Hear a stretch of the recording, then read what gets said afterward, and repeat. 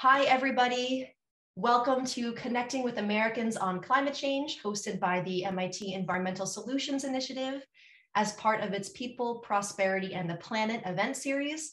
We are very glad you're here. We had an incredible amount of enthusiasm for this event with almost 400 people registering. And that just goes to show how much interest there is in reaching across the divides that exist in America today and in accelerating meaningful action on climate change. I am Laur Hesse Fisher. I'm from the MIT Environmental Solutions Initiative, and I lead our work on climate change engagement and communications. And the ESI, the Environmental Solutions Initiative, leads MIT's work on sustainability education, natural climate solutions, mining and sustainability, plastics and the environment, climate education and uh, communications, and much, much more. You can learn more about the Environmental Solutions Initiative at our website, environmentalsolutions.mit.edu.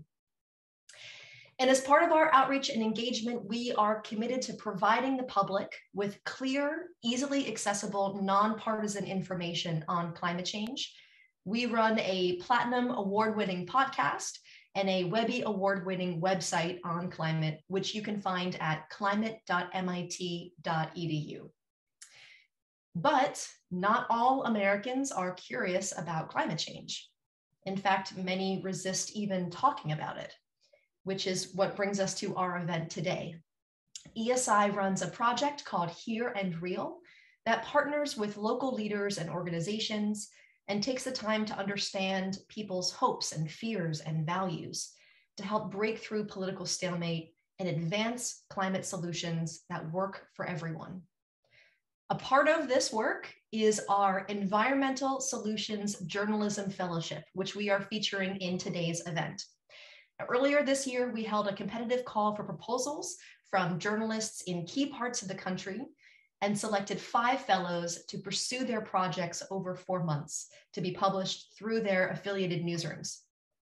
Their projects lead with issues that are already important to their audience and then weave in how climate change is impacting those concerns or creating new opportunities. And you'll get to meet and hear from our fellows today. We have a great set of conversations for you. In a moment, I will invite our presenting speaker, Professor Arlie Russell Hochschild, to speak on the role that bridge building plays in climate action. And then we'll hear from our five journalism fellows about the approaches that they took in their projects and we'll have time for Q&A at the end, wrapping up at about 15 minutes past the hour. Uh, so some logistics. First, can you please submit your questions in the Q&A feature in Zoom? You'll see there on, on the bar at the bottom. Um, if you put them in the chat, we might miss them. So please do put it in the Q&A feature. It's uh, easier for us to manage them there. I also want to quickly acknowledge the over 100 MIT alumni who are here with us today. Thank you to them and all of our other supporters who help us run programs like this Journalism Fellowship. And we are currently fundraising to support our 2020 cohort of fellows. And if you would like to contribute, you can email me climate at mit.edu or you can visit esi.mit.edu slash donate. Okay, so those are all the logistics and we are ready to dive into our conversation. So it is now my distinct pleasure to introduce our presenting speaker, Professor Arlie Russell Hochschild. Professor Hochschild is an emerita professor of sociology at the University of California, Berkeley, and author of several books, including Strangers in Their Own Land, Anger and Mourning on the American Right, which was a finalist for the National Book Award and a New York Times bestseller. Professor Hochschild, thank you so much for joining us here today. Well, it's my great pleasure. It's a very important topic here. Yeah. Well, I, I invited you to be our guest, our special guest for this event because I admire your work so much.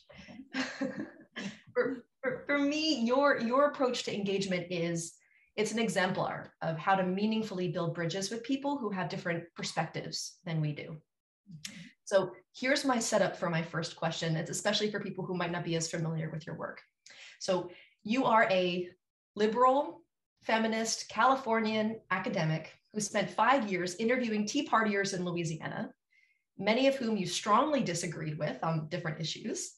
And you wrote a book about them. And the book helps readers understand their perspectives. And you stayed friends with several of the people that you interviewed, the Tea Partiers. You've gone over to their house for dinner and you keep in touch. Did I characterize that correctly? Yeah, they're they're now visiting me. Oh, that's great. Great.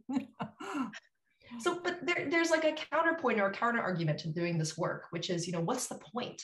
Why make such an effort to build bridges, especially if you know the other side isn't trying to reach across? Yeah. Um, and I hear that, but you know, this topic, uh, climate and uh, this and reach across, putting those two things together couldn't be more urgent. And it's not just urgent because there are new floods and famines and climate refugees coming than we already have. It's, it's urgent for that reason, but it's also urgent because there's a rise in right wing populism, which is equal and opposite. And it's got leaders like Trump and uh, that are opposed to doing anything uh, about climate. So we've got to face that. And it is urgent, the facing of it. It's the hardest part in a way. And, um, you know, if you go to places, especially uh, where like coal jobs have been lost, and uh, people are saying, look, uh, you know, we're looked down on and we're uh, we're denigrated and uh, we're hurting and the government hasn't done anything good jobs are out no good jobs are back in opiates are uh, coming in strong. What do you people you know you're on the other side. So uh, and and that's a tinder, dry tinder that a politician can easily light. So, in a way, we need people who are uh, really informed about climate, who are good at making common cause around differences. And that is the challenge. It's doable and it's important. So let's talk a little bit about the doability part of it. Um, I, I really want to get at why you look at the things the way that you do. And you are a sociologist. So I'm curious, how has the field of sociology informed the way that you approach engaging with people who are different than you about these tricky topics? Sociology gives us forgiveness and it gets uh, guilt and blame out of the picture. It doesn't get judgment all the way out of the picture, of course, but you begin to to look at someone at, from the point of view of how they were formed. And so when I went down to Louisiana for five years of having a look and had dinner with people and saw how they, uh, what they did during their day and, and where their kin were buried and what school they went to and uh, what was uh, fun for them, what was embarrassing for them. Uh, I could get a sense in the back of my mind, the sociology part of that was okay, globalization has winners and losers. Who am I talking to here? From 70s on, with offshoring good jobs and automation, it hit the blue collar across the country, but especially in, in these one industry towns, you know, that that's who I'm talking to. I'm talking to the elite of the left behind. And I think around the world, that's who the right, that's who the energized populist right is. Okay, that's sociology that told me. I'm not just talking to a person, they're located somewhere. And, and I'm going to have to tune an ear to how they hear and what their symbols are. And like, for example, I found that when talking about climate, if you if you say, oh, well, it's man made, you know, that ticks off in their mind guilt. Oh, you mean I come up dirty from the coal mine and uh, I'm causing this big problem? No. So you don't. You don't go there. You say, well, okay, you're a hunter and a fisher, and uh, isn't it great to be able to eat the game, you know, and and uh, that it won't be contaminated and you know, no, uh, no dust in the sky. Uh, how about solar? Wonderful. Yeah. So that if you if you go to the solution, you you get instant agreement actually on that. So you only know that by listening for the for the symbols and that tick them off. We've got ours too, by the way.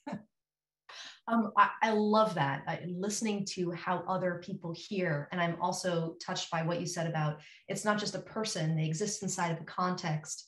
You have something called a, a deep story. A person holds a deep story. Can you share a little bit about what that context or what, what that word means, that concept means? Yeah. You know, um, I came to feel after listening, doing a lot of open listening, and took my alarm system off and, and tried to really open listen. And I had a feeling it all boils down into way to feelings and to a story that evokes those feelings. And the deep story uh, in Strangers in Their Own Land, which is the right wing deep story. We've got ours, but uh, the right wing deep story is you're waiting in line uh, facing the American dream. And it's, um, you feel like the line is endless, that you're not very far ahead in it. It hasn't moved. People haven't had raises in 20 years. And you're then you see line cutters. Well, who would that be? That would be Blacks and women who finally are given access to jobs that have been reserved for whites and men. And you feel, well, they're pushing me back. And then you see environmentalists and people uh, who want regulations. Well, they're pulling ahead too. And then you see refugees and you see immigrants. And then you see Barack Obama waving to those uh, line cutters as you, the right wing, deep story person, feel. And then you feel, I'm not represented. I'm out, I'm a stranger in my own land. So you take facts out of the deep story, you take moral precepts out. It's just that distillation of feeling. And we have to learn to talk deep story to deep story. Okay, so then what's what's the first step? Uh, how do you go about listening to how other people hear and trying to get a sense of what a person's deep story is to, to start building that connection? Well, when I was uh, meeting people uh, at the Republican Women of Southwest Louisiana uh, annual dinner with a uh, rifle raffle, you know, and Lord's Prayer to begin with, and and I uh, people would ask me, "What are you doing here? You know, who are you?" Well, I you know I'd first say, "Well, hi, I'm a retired uh, professor of sociology, UC, University of California, Berkeley. I told them exactly I was, and I'm here because I don't, well, don't, then they would say, ooh, Berkeley, oh. And then I would say, but you know, the reason I'm here is that I feel like there's a big division in the country, and I don't, I've never been in the South, I've never lived here. I don't understand, I don't know any members of the Tea Party, and I'm, I'm here to try and learn about you. And they would say, oh, well, we're worried about the divide too. But we think it's because you people look down on us and you think we're backward and racist. And, you know, that's what you think. And I said, well, that's, I'm, you're doing me a favor. I'm so grateful just to get to know you. So there was one crossover issue, the divide. So it sounds like when you entered those conversations, you came in with an incredible amount of honesty. You just said, This is who I am. This is what I'm doing. I'm not trying to dupe you. And you also came in with a lot of curiosity. It sounds like there was an authentic level of curiosity there, of, of really trying to understand as opposed to convince or change minds. Yes, that's true. And uh, humor helps a lot. Uh, I uh, said I came from Berkeley, California. One uh, Tea Party uh, Louisiana guy said to me, Oh, y'all communist, right? And I just let it go and laughed, and he laughed too. I thought, okay, this can work. If he's laughing, yeah, we'll we'll go forward. But uh, yeah, sometimes it just takes standing there You know, honestly, just they will have their projections upon you. And um, they don't bother you. You're going under that. Did you ever get to a point in the conversation where you were trying to persuade somebody or where you were trying to make a point and and and do more than just listen? Yes. And then I always thought it was a mistake. Can you say more about that? Yeah. I think there's a ultimately the purpose, of course, is to get communication going and through the symbol system of the other side. You don't want to stumble on that. That's what you're listening for. What can this other person hear that I can say? I'm not interested in just saying it. I'm, I'm interested in what they can hear. And I'm, I'm, uh, I'm studying other people who are good at knowing their hearing and getting the point across. That's, that's my focus. Um, and I stumbled. Sure, sure, I'm a human. uh, and in the book, of course, I, you do know what I think. What I thought was really interesting is once you had identified what you thought was the deep story, then you went back to the people that you had connected with, and you said, "Is this it? Did I did I get it right?" And they gave you feedback on it. They did. Some said you read my mind. Uh, one guy said, "I live your metaphor." And others said, no, look, you it's incomplete. You know, one woman said, yeah, but uh, uh, it's actually the people waiting in line who are paying taxes that go to the line cutters. That was what you left that out. So I put that in. Yeah, they helped me finish it to tell their vision. Yeah so I'm really excited that in a moment we're going to be introducing our journalism fellows um, who have spent four months working on projects that try to do some of this listening, right? That weave climate change with local priorities in order to engage some new audiences or engage some new conversations about climate change. So, what role do you see efforts like this journalism fellowship and your book and maybe other efforts that are out there in advancing this larger strategy of accelerating action on climate change and environmental issues? I think it just, I, it couldn't be more important. I honestly uh, think of the researchers we're going to meet uh, today as uh, first responders to, to a crisis. And uh, it's a crisis that curiously isn't being directly uh, addressed because people who are really um, concerned about climate, we're doing research on it, are often in a bubble. And, and we're all in bubbles. And so, what I see this project doing, what this feels so special to me about these five researchers and um, and, and project developers uh, is that they're getting out of the bubble Oh, well, thank you so much uh, for this conversation. Of course, we could go on for another hour, but unfortunately, we don't have the time to do that right now. But you are staying around with us and helping us lead our next session, which I'm very grateful for.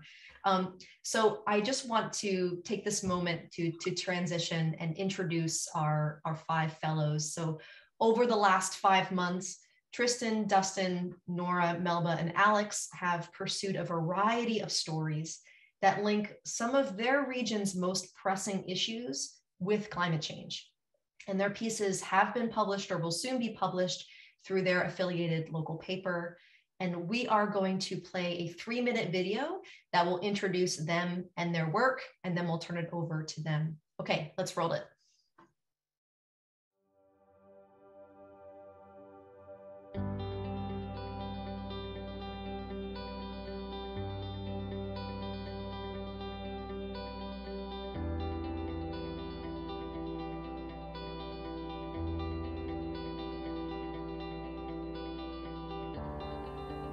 I'm Tristan Baurick, an environment reporter with the Times-Picayune in New Orleans. Louisiana's oil and gas industry has caused many of the environmental problems the state faces today, and now the industry is fading, leaving many people without jobs. My project highlights Louisiana's offshore wind energy potential both as an economic engine and a way to produce renewable energy. This project deepened my understanding of both the fossil fuel industry and the renewable energy industries. And with that deepened knowledge, I, I plan to cover both um, a lot more in the future. Hi, my name is Dustin Bleizeffer, and I'm a reporter for wyofile.com, and I'm based in Casper, Wyoming. My project aims to advance the understanding of what transitioning away from coal might mean for Wyoming communities. The project also aims to create a better understanding of the climate change that's happening in Wyoming and what are some ways to help preserve the Wyoming quality of life within those big changes? My name is Nora Hertel. I'm a reporter with the St. Cloud Times in central Minnesota. Um, there's a lot of enthusiasm in Minnesota and across the United States for natural climate solutions. Practices in agriculture and forestry have the potential to draw excess carbon dioxide out of the atmosphere and deposit it into the soil, into trees and other plants but it's not a cheap or a simple or quick transition.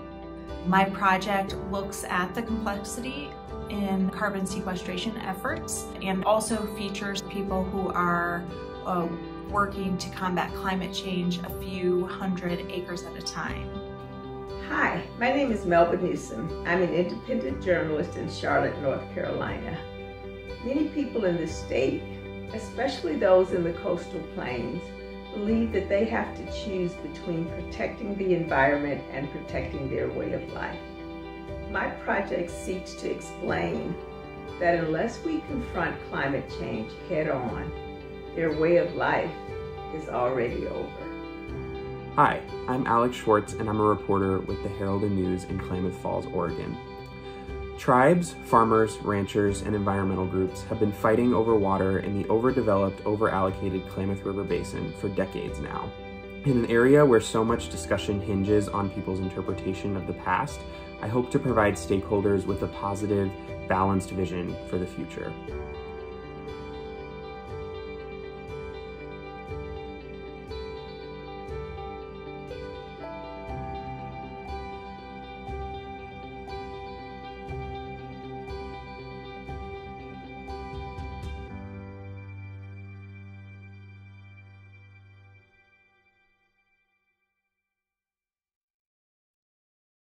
Great, thank you for that. I am very excited now for you to hear from our fellows. And this part of the conversation will be led by Professor Hochschild.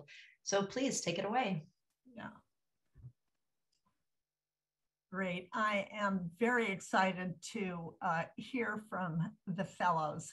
And um, let me start by asking uh, you, Alex, uh, Dustin, and Melba. Um, each of you reported on the impacts of climate change in the region you chose through the lens of a particular local issue. Can you share with us about your approach and uh, why you took the approach you did? Sure, I can I could start with that. Um, you know, the the issue that I was dealing with is that you know the the water crisis that I cover has been in set in motion long before uh, climate change actually started sort of rearing its head. Um, and you know, as a result, the situation is already so bad that there, you know, you have a lot of folks who don't even want to think about it possibly getting worse due to climate change. Um, you know, people haven't really analyzed the the specific local impacts of this crisis. You know, maybe they know about Florida getting hit by hurricanes or you know sea level rising in New York, but they're not really super clear on how, for example, the snowpack in the Cascade Mountains is changing, or you know how stream flows on the river, you know, in their backyard is adjusting. Um, so I think adding the and the, you know and most importantly they don't really have the data to look at that either. So my you know part of my goal was trying to provide that information to people to to make them a little bit more informed about the future that we're facing and and the impacts that we've already seen. So you would say that uh, people say look we've already had bad news. It's always been like this. And florida's another story. Uh, are there things they could observe if you pointed them to it? yeah no and there were you know there were people i talked to where i asked you know what have you seen in you know anecdotally in your own life? Maybe something that isn't supported by data and you know people talk about the snowbanks that used to be you know nine feet tall in town and now we just don't get snow anymore. And uh, it's it, it's kind of you know those sort of uh, anecdotal examples have been really helpful in in terms of you know connecting with people on this topic tuning them mm-hmm. yeah. Dustin um, so uh, the same question for you. Uh, what uh, what determined tell us about what you found and what determined your approach? Yeah well um, climate change can be a really difficult topic uh, to talk about in wyoming. It's um, it's very divisive uh, and usually talked about in terms of politics um, but and, and, it's often thought about as a problem somewhere else um, that uh, governments and regions and other states are imposing changes on Wyoming, you know, uh, you know, because they're not going to buy our coal anymore, or you know, they're, they're imposing these policies that come to play uh, very prominently in Wyoming's economy. So the approach I took was to uh, to ask people to like let, us go to a place, uh, a landscape that you love, because you know one thing we all identify with in Wyoming is we we love these vast outdoors, you know these basin areas and mountains. We have a lot of public lands in Wyoming, and even if you work in a coal mine or a trona mine or the oil patch, a lot of those folks work those jobs because it affords them the opportunity to go enjoy those lands, right? Hunting, fishing, and skiing. And so I, what I thought I'd do is, is kind of back up a little bit. And I asked people, like, let's go to a landscape that you love or depend on. And just tell me about what you're observing. What changes are you seeing? And and they are seeing changes. And a lot of a lot of the time they attribute that to drought. And uh, but they see changes that uh, seem to be, you know, just they don't fall in line with the cycles that they knew about when they were younger. Mm. And so uh, it, I, I, thought that was a good starting point. You know, we can talk about these, you know, the North Platte River where a lot of people fish, or these basin areas where a lot of people go hunt, and and that's a huge part of their quality of life and why they live here. And then, um, you know, a, in an accompanying story, I thought, okay, well, let's talk about the climate data that's specific to Wyoming. And, and, and let's start having that conversation. And, and what is that telling us? You know? Fantastic, fantastic. Melba, let me uh, turn to you. And I would uh, love to know um, how you approached uh, your project and uh, whether you found a kind of a common ground wedge uh, like Dustin did.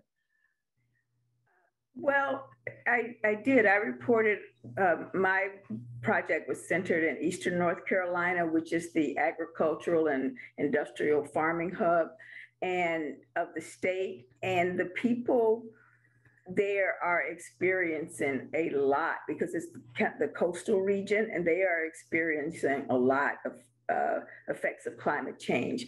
And uh, so it's not as far removed as it once was, like a report, the, the state issued a report talking about sea level rise and you know the impact. So it doesn't feel so remote to them. So that was a good that was a good place to start. But i I spent a lot of time talking to the people who are impacted by industry.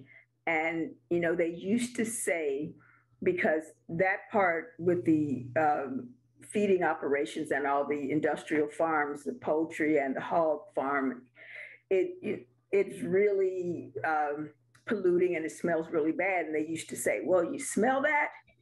That's the smell of money Well, they don't say that anymore because 30 years later, the same people have the money and they just have the residual effects. And I, it, it, it is mm-hmm. really, it was really good to see that there's kind of been a melding of the conservation movement and the people talking about environmental racism and environmental justice because they see their futures tied together and to uh, you know that they're stronger if they uh, we kind of unite and discuss these issues and lobby against them and try to bring about change in that way so that was very interesting yeah, it's interesting. The smell of money. I heard that too in uh, Lake Charles, and the very same thing when they the smell of uh, you know a chemical. Oh no, smell of money.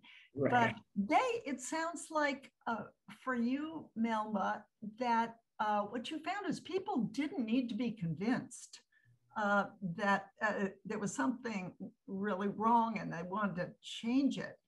But feeling efficacious how do we do it is that is that right or that's that's absolutely true is what can we do when you know we have legislators from the great state of uh, Perdue chicken and the you know the great state of smithfield and that's they it doesn't matter what happens that's how they're going to vote that's what they're going to do. So they're like what can i do you know, to change these things. And and there are other people who are opposed because of maybe f- of doing anything. They they don't want to talk about climate change. They because it, to them it's like you're going to come down here and tell us, you know, what to do in our communities and and you know impose these things. But the people who mostly say that they don't live near the payphones. you don't get that money smell all the time, right? So, and um, they're so they think it's kind of worth it. it. It's basically what can we do, and there is a bit of kind of. Uh, you know, they feel overwhelmed that nobody's listening because, you know, the money is on the other side. Right, right. So this would seem to call for a different kind of approach. You've got people who understand it, but uh, feel powerless. Wonderful. Yeah. yeah. Thank you. Thank you. So, uh, Nora and Tristan, your projects are uh, focused on uh, climate solutions and how they're playing in your region. Can you uh, share your projects and what are breakthrough ways in your community to relate to climate? Yeah, I'll, I'll go first. Um, carbon markets were a really good entry point um, because uh, they are a market-based solution. So people on both sides of the political spectrum um, could get behind it. Um, it's not really controversial. I mean, well, certainly there there is if you look hard enough, you can find some people who aren't fans, but generally speaking, people who wouldn't normally be talking about climate change are interested in carbon markets because there's um, a mechanism for them to get paid. And there's talk about carbon as a crop that you um, sequester carbon through um, planting cover crops on your land or through limiting your tilling practices, um, which would keep carbon locked in the soil um, those kinds of practices, even also um, grazing livestock on the land, those practices, um, some farmers do them anyway, um, but there's these emerging carbon markets where they can get paid to do it. So they're not just doing it because um, it's a conservation practice or because there's a little bit of government money or regulatory pressure, but because there's um, money coming from a business and that it's it, they can include it as um, an operation expense and get revenue for it. Mm-hmm. Um, so it's an easier sell.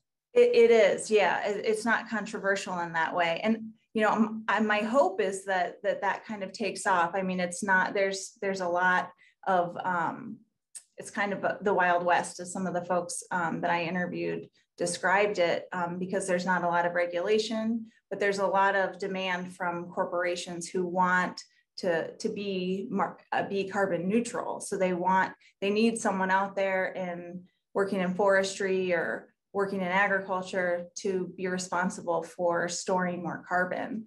Um, so there's that there's that demand there. Um, and, and, farmers, I think, should get paid for doing that because it, it costs money to buy seeds for cover crops. They might need to buy new equipment to um, make these practices, and there's a lot of benefit for all of us. Um, there's biodiversity benefits. There's um, uh, there's benefits to the soil. It helps us all adapt to climate change.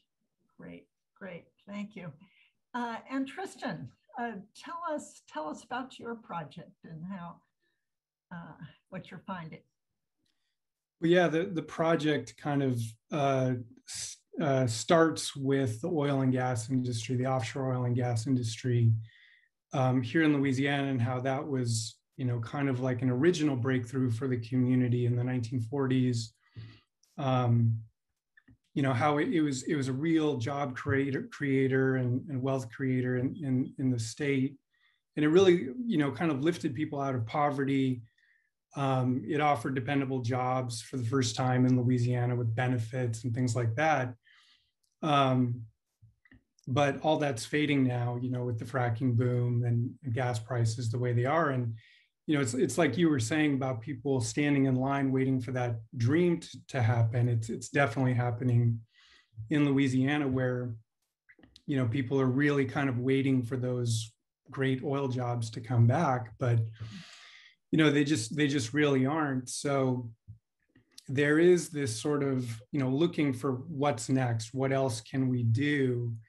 And you know the offshore wind industry is is rising it's growing and it offers kind of a lifeline for those same you know people the, that same kind of workforce.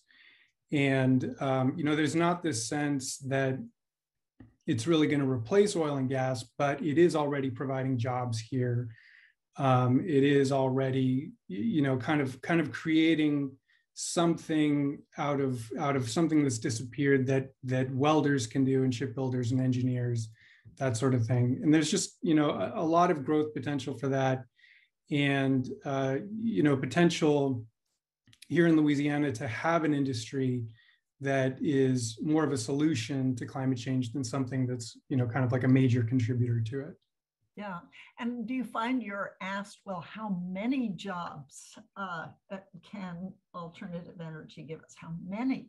You know, what what do you say? Yeah, it's it's it's a big unknown. I mean, nobody really knows. There's been some studies that have kind of looked at, you know, what would one offshore wind farm do in Louisiana? How many jobs and things like that. And you know, with a lot of these things, there's a big boom in construction jobs, and those are only temporary. Um, but if there's kind of a critical mass, you know, this this kind of thing where they're just being built um, as they, it looks like they will be on the East Coast, it could be, you know, a real job cre- creator. Right. Are they curious? That they say, hey, look, Denmark has the largest wind farm and these huge big things. Uh, people don't mind looking out at blades, uh, uh, doesn't destroy their view. Uh, are they curious or suspicious? I mean, do they feel? You know, it's it's kind of funny. They don't really know about it right now. You know, the people that know about it are, are these guys in the oil and gas industry who you know, spent decades building ships and everything like that, and, and they are on board. And some of those companies co- have completely shifted the focus of their business to these sorts of offshore wind enterprises. But it's it's still pretty early for Louisiana. It's, it's something that hasn't really been, you know, publicly discussed very much. Yeah, it's interesting. Um, it's a different story from the one Melba is telling of people that know that uh, Perdue is got its own interests and they are not yours, uh, and uh, but feel helpless and don't feel like external help is advancing the topic. But you've got people that uh, they were just confused. They see they are sinking. And in all of these stories, I mean, we're, we're facing a situation of loss. And loss is a little harder than deprivation emotionally. That the studies show us that if you had something, you're losing it. you hang on. You're more anxious than if you never had it. So, and the politicians are uh, absolutely alert to this. That is, you know, they're prospecting. the politicians are emotional prospectors. And they're, in essence, trying to get the sense of, of uh, loss and confusion and fear uh, on their side. So, in a way, I see all of us as saying, wait a minute, not so fast. Those feelings are there and we're addressing them, but here are these other better answers. Well, this is wonderful. Laur, do you uh, have, do we have time for more? Or? Yes, we do actually. Yeah. Well, um, so I guess what I would love to throw out to all of you is what you see as as next steps. I mean, we're in a process here. We're faced with this conflict. It's getting, climate's getting worse, but so is populist opposition to solutions. And um, where do you see the opportunities uh, for um, getting ourselves out of this fix?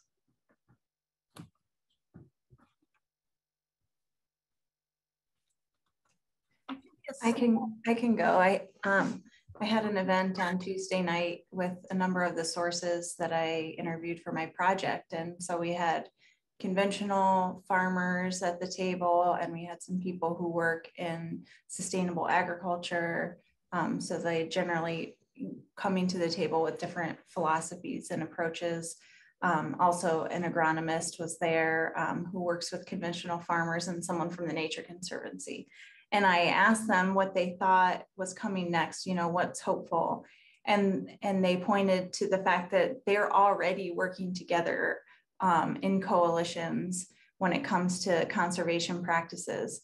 Um, part of it has to do with that economic incentive, um, the carbon markets in agriculture, but also um, those practices that I was talking about earlier, they have benefits directly to farmers. They can help them in, increase their yields. They reduce erosion.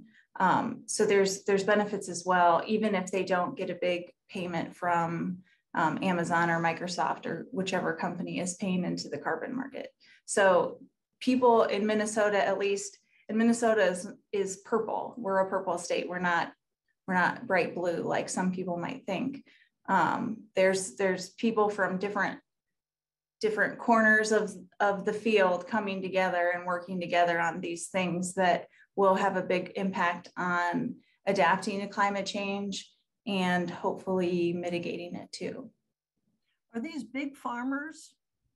Um, I talked to a range, so a number of small ones, but also I spent some time on a farm with 4,000 acres. They it was like a four generation farm, and the the two youngest, their cousins, um, they just they one of one of them tried a field of cover crops and it was hugely successful. They had not been producing um, and they tried it one season and it turned it around. And they've been experimenting for the last four years and they've seen increases in yield. They don't even care if they get um, carbon market payments. They're doing it because they like seeing more biodiversity on their land. They like seeing something green in the ground even after they harvest their crops. They like seeing deer come and earthworms in the soil because before they were just their soil was degraded through these practices of you know monocropping and not having a lot of diversity there.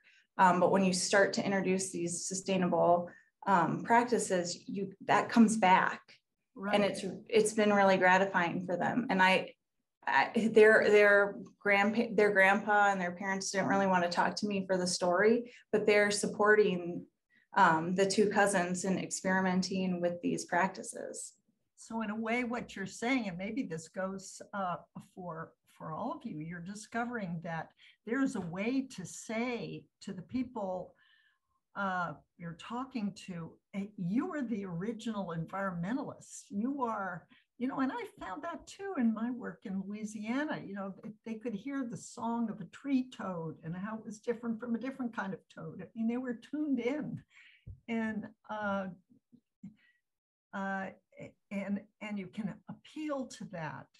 Um, to say Yeah. you're already ahead of us. And they often will say that to me. They look, we we were the original conservationists. We, you know, uh, recycled our plastic things or in the 1950s that there used to be milk bottles that were glass and you recycled them as part of uh, before the plastic interests kind of uh, took things a different way so they feel criticized um, in a way that where they should be praised. Let me um, ask you this: Do you find that it's where do you find credible communicators on the other side? That is, people who who get it, who are part of the population that doesn't get it.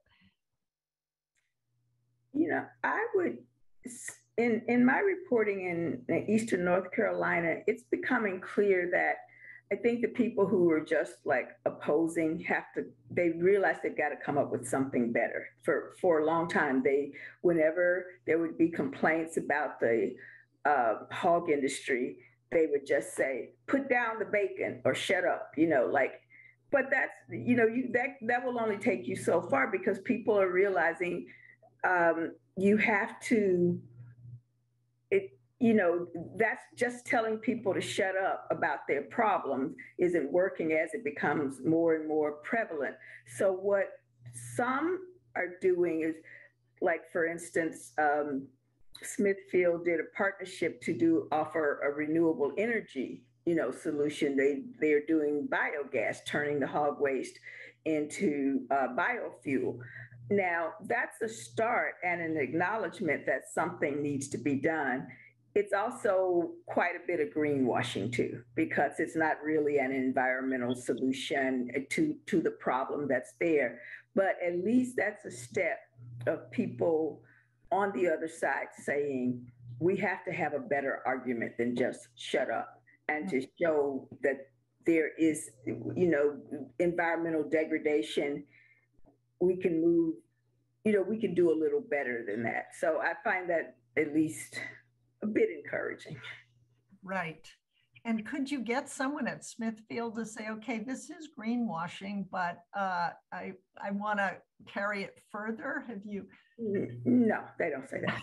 They they you know I send them a list of ten specific questions once, and they got back to me. Oh yeah, we'll answer all your questions, but it wasn't. They sent me back a press release essentially because like the very specific questions were like, we're capturing methane and I say, you create the methane to capture it because the process you, methane is only created when you tarp the the um, the lagoons and so that's like saying okay uh, i'm going to create something that doesn't exist and then you need to thank me for reducing that thing that i created in the first place and so yeah that's kind of how that conversation went. Yeah.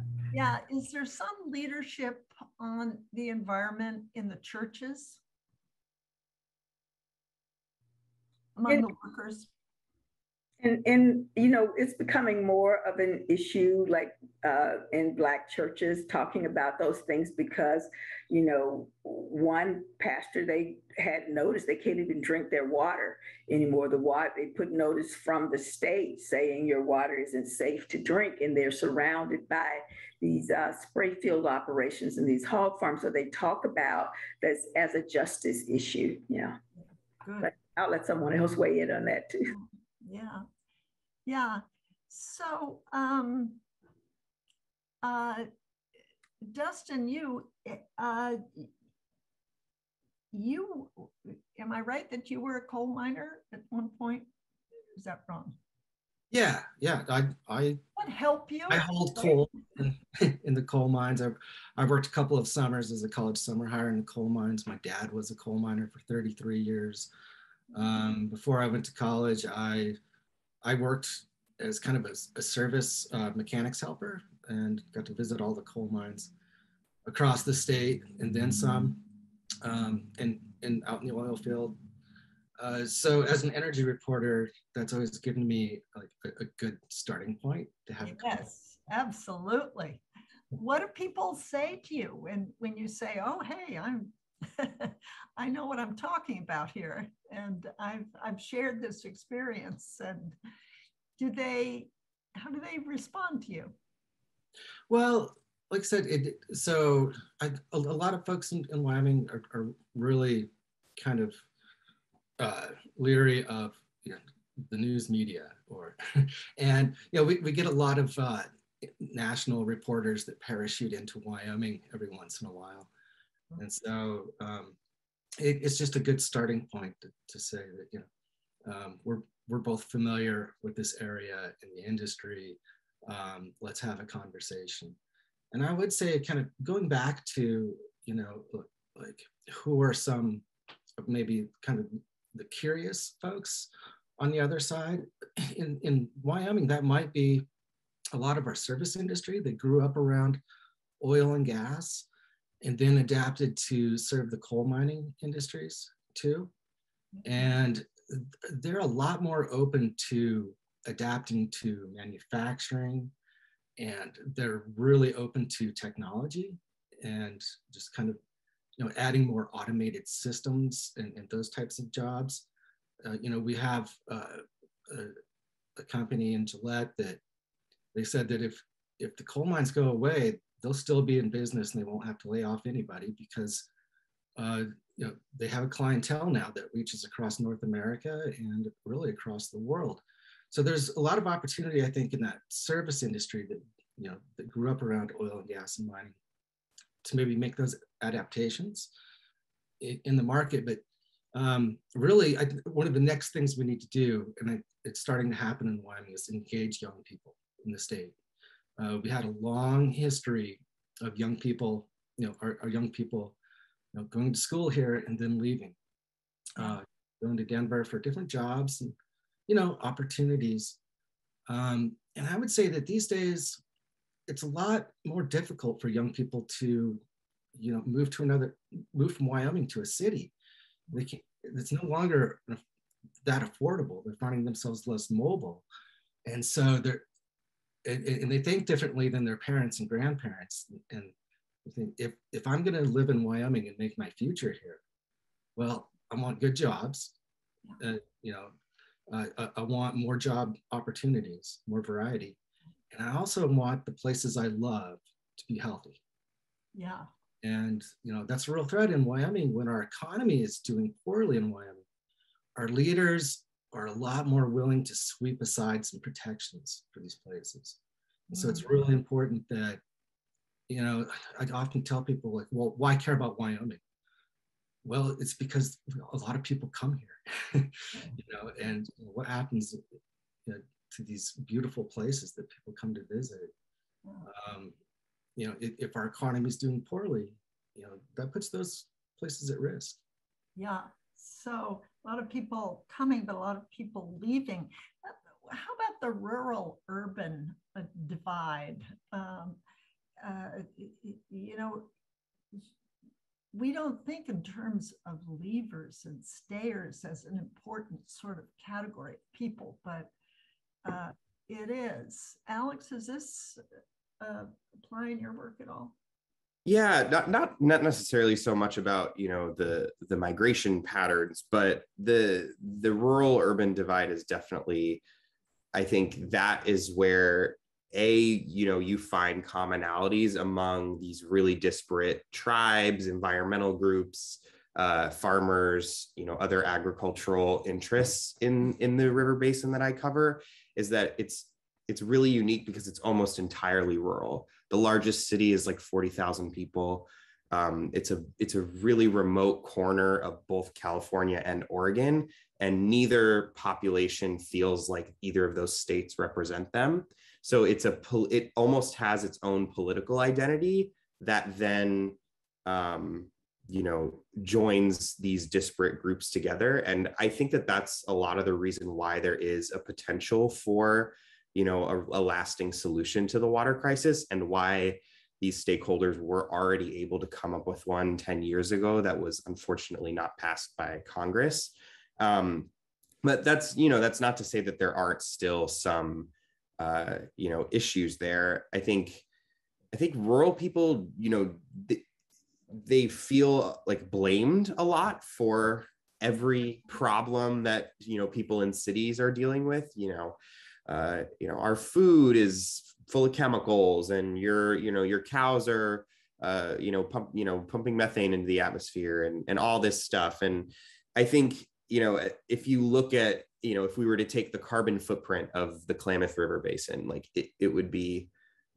minuscule compared to any you know name a corporation right and i think that's why i really wanted to approach this from the adaptation side of things because yes obviously everybody has something to contribute in terms of reducing emissions and working toward that systemic change that needs to happen in order to halt climate change. But you know we're already seeing the impacts now and like we have to you know sort of create that safety net for our communities to be able to bear the brunt of just these cascading disasters that are already occurring and are just going to get worse in the future. Um, and so that was, you know, I think that the adapt focusing on the adaptation side was really helpful in terms of just getting people to talk about climate change because as soon as I would mention it, you know, they would be like, oh, you know, like why why should i have to like deal with governor newsom's uh, telling me that i have to get a new truck every three years because my current one i only drive 3000 miles on but it's you know it's not electric so it's bad for the environment. And you know they feel like eh, eh, you know having to switch to these new technologies or whatnot it's a lot harder for these rural communities. They don't they don't have the resources to do that um, compared to you know maybe if you have a city uh, or an organized uh, institution there that that's making it happen for them. So what they find is that their dilemmas uh, aren't being heard. Uh, there are edicts coming from on high. And isn't this the area where there's talk of the state of jefferson exactly. yeah. and have our own government and we'll make our own rules can keep our trucks for as long as we want um, and uh, be, be rural people. Um, so in a way- so Arlie, just so you know, we have time for maybe one more question before we move to Q general Q&A. Okay. Well, um, if each of you had one, um, wanted to throw out kind of one suggestion that would make it uh, that would clear the way uh, across this divide um, but, uh, and make climate change feel palpable, work against it, a good thing, what would that be? Uh, let's uh, start with you, Tristan. Um, I think one thing is just to find the people who are directly affected, who are living it, you know, the people who are, um, you know, feeling the effects of flooding on a chronic basis. What does that mean for getting to work? What does that mean for getting, you know, the kids on the school bus? Um, that sort of thing. I think finding those local solutions that people can identify with, they know that town, they know that community they know that neighborhood, they've driven through it, and they can imagine what it must be like to live with those climate effects, I think is it's compelling and it's more effective for readers. Yeah. And Louisiana in particular, I'm thinking Lake Charles has just been transformed by storms. So yeah. you came in talking about storms. Yeah. Um, might be hurt. Yeah, Nora.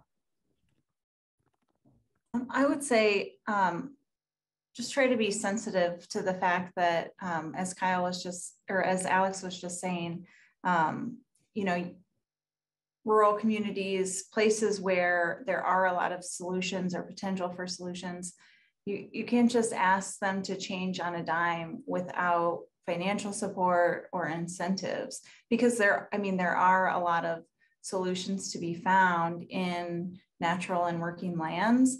Um, but you just, I mean, you, you can't just ask people to change how they do everything just like that. And, and, and you can't assume that they don't want to either. Um, so I think that there's, you know, I, I would say watch, watch the attitude, not, you know, for all of us, anyone who wants to see positive improvements. And also that, you know, it's not just going to be one thing that's going to be a magic, a silver bullet. You know, we're going to have to do a lot of mitigation and a lot of adaptation across industries. Watch the attitude. Melba, what would be your suggestion? Uh, my suggestion is to keep it, you know, bring it local to them and, and show them that this is not somebody else's problem. Uh, for instance, there was a, a study that showed that the young people, the teens, the high schoolers, they don't plan to stay there because they don't see they don't see a life for them on the coast because so much has changed and and I would just appeal to them like you you have an investment here. This matters to you. And and when we have these thousand year floods every uh, two years you can't get out either. You are trapped in too. So to show just the local impact is is yeah. very relevant. Yeah. and they're your children that will be leaving and you know what that. Yeah good um, dustin yeah, I, I, guess I would encourage folks in Wyoming to uh, talk to one another about these places that, that we love and that we depend on and, and, and how those places are changing. Uh, you know, just to make that connection uh, and, uh, you know, outside of a political discussion. And then I, I think it's really important to, to talk to young people in Wyoming and ask them, you know, what will it take for you to make your future here? You know, what do you need? What sort of that's that's great. Societal changes, uh, opportunities, um, and really, I, I would like to see, you know, a lot of some folks who have been in, you know, positions of power for decades in Wyoming maybe step aside and really engage younger people more. Wonderful, wonderful, Alex. I would I would say my number one thing would be to just take all blame off the table. Um, you know, every time you talk to climate change about you mention climate change to somebody who's skeptical or just is not down with the whole movement, they're you know they they immediately go on the defensive and feel like they are pers- you know you're holding them personally responsible for the crisis. And you know it doesn't matter how many burgers you eat how many plane flights you take like if you just lived in the woods for the rest of your life never emitted a single uh, you know ton of carbon for the rest of you know your living days the world would still be you know a screwed up place. So that that alone is proof that it's not one individual person's fault. You know you really have to take a, a broader perspective and explain to folks that this is really a systemic problem that you know we all have a role in solving it and building a better future but it's nobody you know the blame should not be put on any one person. Put the sociology back into it. Back to you Laur. Wow what an incredible conversation. Um, okay so talk to the people who are impacted the most watch the attitude make it local talk to each other, especially young people, and take all blame off the table. Those are some pretty sweet takeaways. So thank you so much for for those. Okay, great. We have a pretty lively chat and set of Q and A's or set of questions here that have been submitted. Um, so let's jump into one. So um, the, one of the questions that we asked is, you know, early early in your conversation, you were talking about listening, and when you did try to persuade it didn't go very well. The question is, well, ultimately, don't we want to persuade uh, when it comes to, you know, don't we actually want to convince people about climate change? So how do we best do that? Okay, then when you're listening to how people hear, you are learning how to persuade.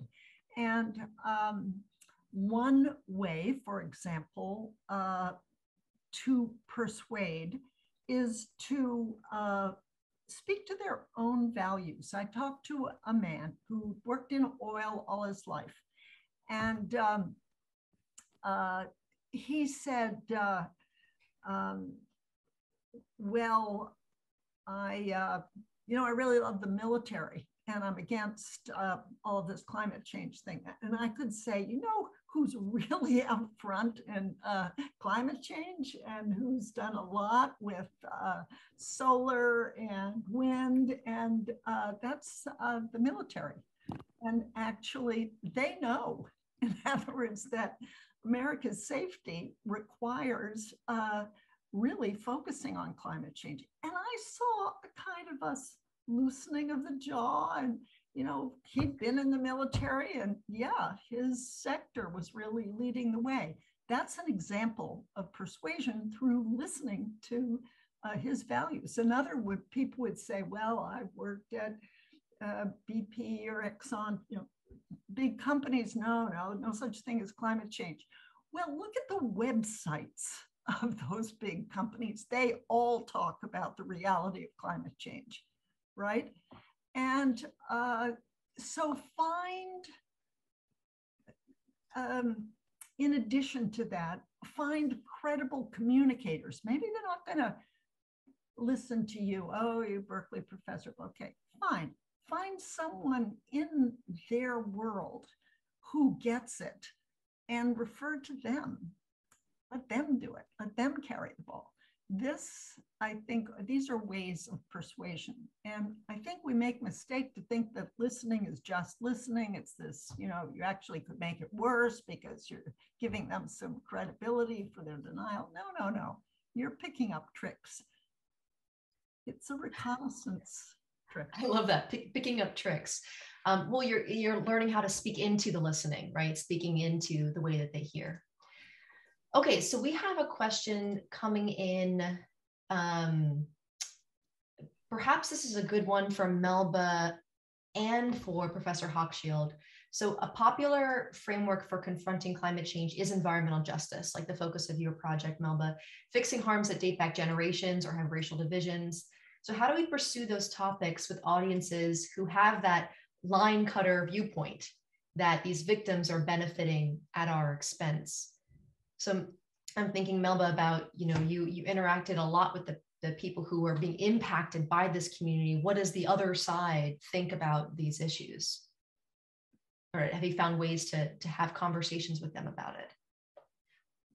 You know, I and Arlie and I had this kind of conversation uh, a few months ago, and then you, Laur, as well, as I, I need to listen to Arlie more because about listening to other people more because when I listen, all I hear is it, you know, is I don't care. I just don't believe it, and it is not my problem. And these are line cutters, and and so the people who feel are line, you know, line cutters. Okay, and how long have Black people been in this country?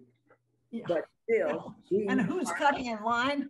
we're we're cutting the line, and we've been here the vast majority of us through uh, no no fault or whatever you know of our own. And so, still, when there's anything that's advanced, we're looked at the line cutters looked at as line cutters just because when when someone says someone said to me one time that when you're accustomed to privilege equality feels like oppression. So to make everybody equal, they it's not about putting someone ahead of you, but to put them on par with you. Some people are greatly, you know, like offended by that. And I just don't know how you get to someone who just their position is, I don't care. I don't care. And so, like I said, I, I always like to listen to Arlie because then and you too, Laur, for talking me down. I hope that there's a way to uh, reach that segment because I haven't found it. Um, so, what I would uh, add to Melba's uh, statement, and I understand it can feel hopeless when you're starting at scratch, is that actually we need new vehicles new structures through which to have these conversations. And uh, we used to have uh, labor unions and compulsory draft that mixed and matched, you know, urban, rural, white, black, class, social class, upper, lower. And we don't have that anymore. And we need to make up new ones. And uh, I think uh, through uh, the church, through schools, uh, there is something called the Bridge Alliance in the United States that it's an umbrella group over some 70 or 80 kind of pop up groups like living room conversations, which I've participated with. You get Republicans, Democrats, pro and con environmental uh, concerns, and uh, you're intentional. And uh, I think those are a better start. And that you again uh, see who the, the credible communicators are on the other side, and you go to them and how can I help you? Uh, and uh, so I think that uh, actually Melba's right if you're taking the extreme extreme. Yeah, uh, okay, don't don't start there. But if you go in the middle, uh, I think there is wiggle room. Guilt out of the story. This is good for you too. This is good for us all. Uh, if we pick the population, get the right vehicles, and um, have a, a guilt free but aimed, purposeful conversation, there's actually, at this juncture in history, I think, uh, some important wiggle room. So I just want to briefly acknowledge the time. I know it's a quarter past, and we said that we would end this um, a quarter past, but I'm actually going to. Our, our, guests today have said that they're available to stay for a few more minutes, and I hope that our attendees here are also available to stay for a few more minutes. I really want to get at least a couple of questions in, so please stick with us. But of course, if you have to go, we understand. So uh, next question came in it says Nora's comment about the difficulties of asking for radical change to happen all at once is a very good one. The problem is, of course, the need to transition to a clean future very quickly um, because you know we've waited so long to take action on climate change. So how do we how do we balance these two things? How do we balance the fact that we need to urgently act on climate change, but then also we need to be able to bring people along, especially people who are asking to change, and that might not happen overnight. So, Nora, do you have some thoughts for that? And then maybe some of the other fellows have thoughts on that too. I do think that there is a sense of urgency that people are aware of or, or coming to terms with that this decade is very crucial for taking action on climate change. And I think the more of these coalitions that I mentioned that are coming together, that means more conversations where, um, you know, an understanding that climate change is happening. That's foundational to the conversation and the partnerships. I feel like that that will help accelerate coalition building and action by those coalitions and perhaps also political pressure because you you need money to do this. I mean, I think everybody knows that you probably need public money. We're going through that discussion in Congress, but you also need mark money from the market. And you also, you know, you also need to make sure that um, you also need oversight and that kind of thing.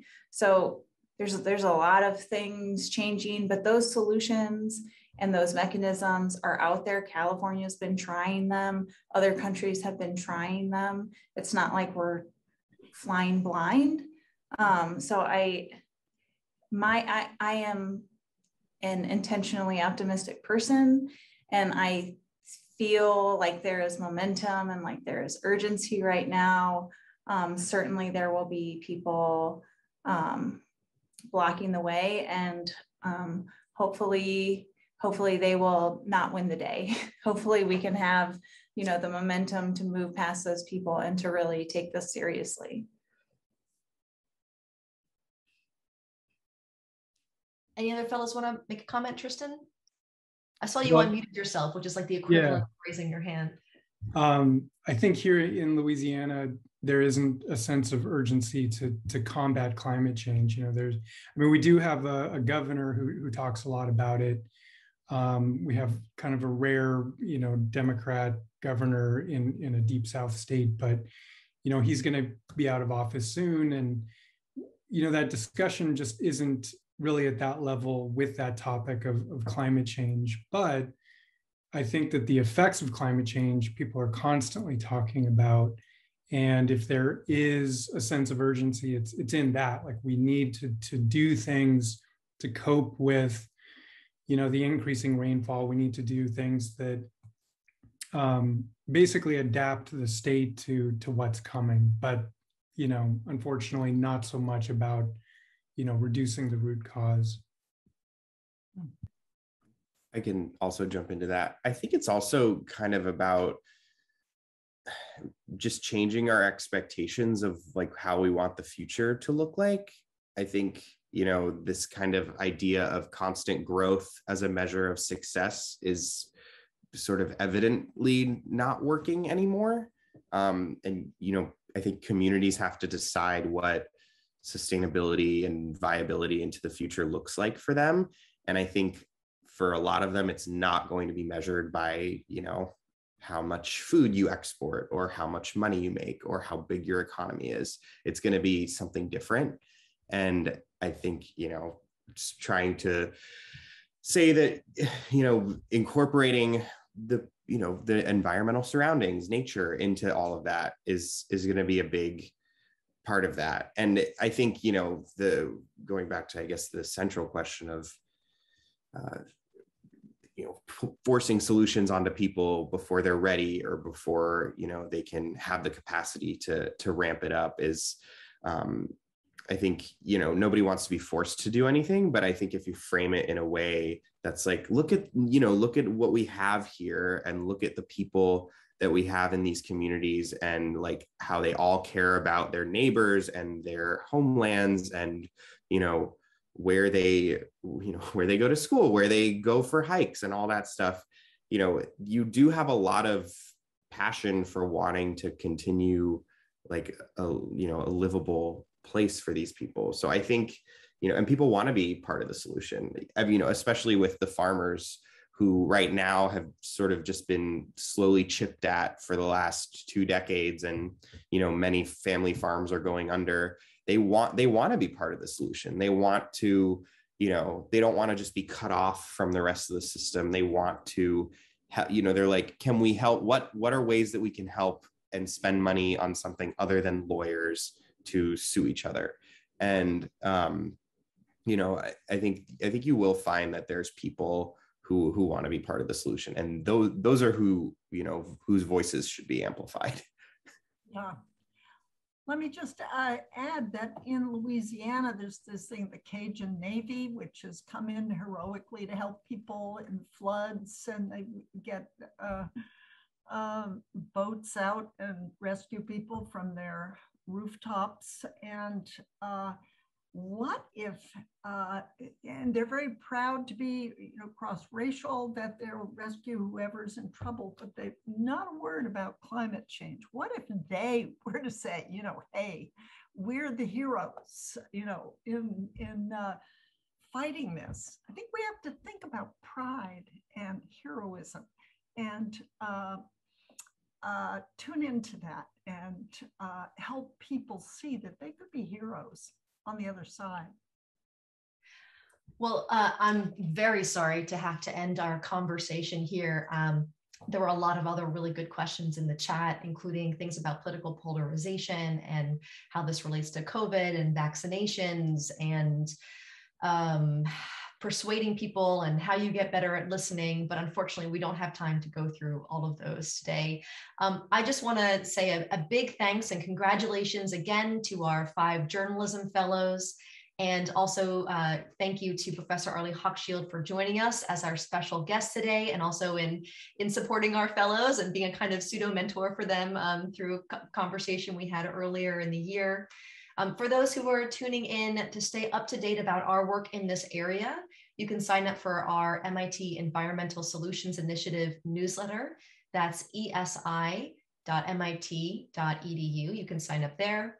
And if you'd like to contribute to next year's journalism fellowship, you can visit esi.mit.edu slash donate or email me. You can get me at climate dot or climate at climate at mit.edu. We appreciate everybody's questions and attention today, but most of all, your commitment to real and meaningful action on climate change that includes everyone and makes everyone a hero. So thank you and have a good rest of your day. Take care.